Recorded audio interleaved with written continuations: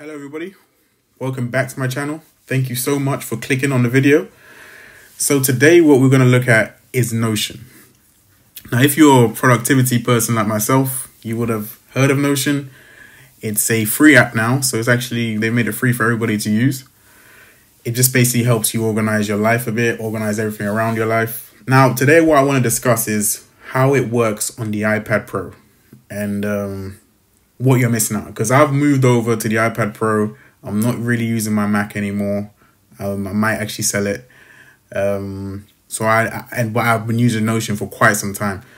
So I'm gonna just talk you through some of my experiences using Notion on the iPad Pro. So let's go through it. Now I don't mind you guys seeing some of this stuff. It's all good because uh, it's not too sensitive. Now this is how I arrange my week and just kind of plan out things to do. Now, let's let's go through this. Let's go through this because to be honest, this is going to be a bit of a negative video because Notion is not well prepared for the iPad. So, on the Mac app, you can literally just drag and drop. You can drag things around. Like you can you see me now, I can't even drag anything. Watch, look, I can't. I can't do anything. So I, I can it barely even highlights. Now, what you have to do is if you take away the keyboard, so I just click here, you can use your finger to drag things around a little bit, right? So that is okay. Um, not great, but it's okay because you see it's, even it's glitching a bit as well. I mean, it's jumping around, but it's okay. It, it can kind of get you by. Um, another thing that is a bit not so great is the screen real estate. I mean, this is 12.9 and the MacBook is 13 inches. Okay, see, look, there's a glitch.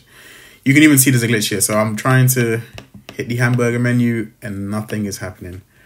Um, just try to see if I can figure out why that's happening. Nope. So if we click here, take the keyboard away, which we can't take the keyboard away. Oh, this is really bad. This is actually worse than I planned. So let's try this. Okay. So you can see that it's very tight.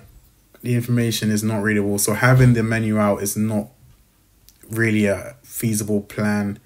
And then also you can look, you can't actually adjust the width of this menu. So yeah, you can you you can so you guys can see for yourself. This is not great at all. Now, are there any good points to this?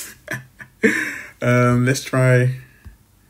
See if we were to try and change the image. Okay, you can change. Okay, you can change the image. That's good.